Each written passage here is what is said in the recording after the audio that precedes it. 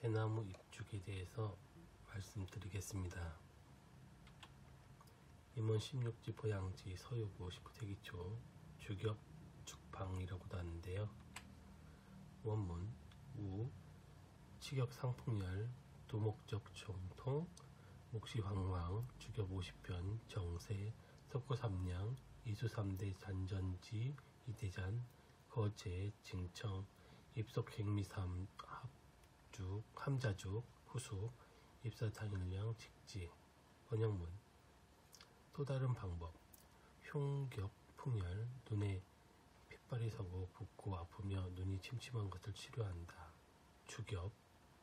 50립을 깨끗이 씻은 것과 석고 세냥을 물 큰 세잔으로 달여 큰 돈양이 될 때까지 졸여 물에 가라앉혀 찌꺼기를 제거한다. 맵쌀 3홉을 일어놓고 죽을 끓인다. 익으면 사탕 한 개를 넣어 먹는다.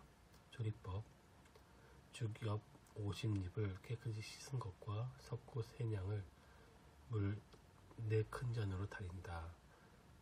2. 두큰 잔이 될 때까지 졸인다. 3.